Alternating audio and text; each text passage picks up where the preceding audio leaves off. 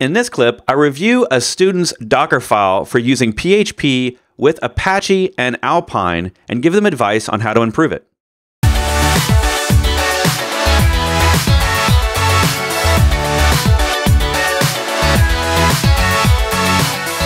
We're now doing a biker's file for Dockerfile.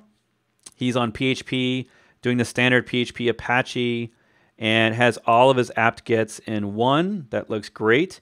Also, you'll notice with PHP that in order to configure different things and to add extensions into PHP, you have to use special commands in Docker. So he's doing that. That's great.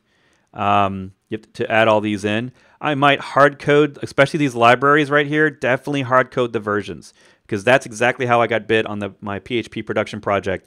Was uh, I think it was a it was either a Postgres driver or a Mongo driver or something had a, a bug in it and it updated to not even a major release. It just updated to a minor release in one of our image builds and crashed production. So definitely hard code that. Uh, let's see. We got some uh, stuff or uh, PECL stuff rather. We've got Compose installer, and it looks like you're getting uh, whatever version is the latest version of Composer. And I know lately, uh, in the last couple of years, Composer has been pretty rapid on the versions, but I might hard code this if you're super concerned about versions.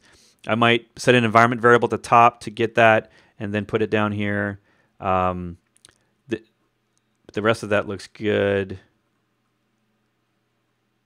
And then you've got down here, you're setting some limits. So you are, uh, looks like here you're hard coding uh, stuff inside of Zend and inside of PHP itself.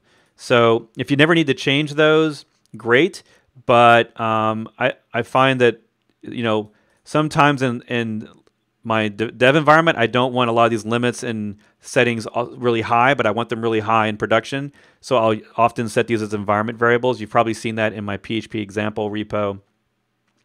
And then we get down here to Drupal, and we set the Drupal version and we install Drupal. So it looks like, I don't know if that's the end of the file or if it didn't all make it. Yeah. So you've got Drupal at the end there. I would take those Drupal versions, throw them all the way at the top, right below the from. That, that way I know what all versions I'm installing. Uh, and that those I keep those at the top. It's easier to read when they're all the way at the top. Uh, at first, it always makes sense to put the version with the block that you're using it in, but as you get more and more versions of things like version of Composer, version of Drupal, all that stuff, yeah. Um, cool stuff. And so, yeah, and you're doing the curl right all here. You're cleaning up after yourself.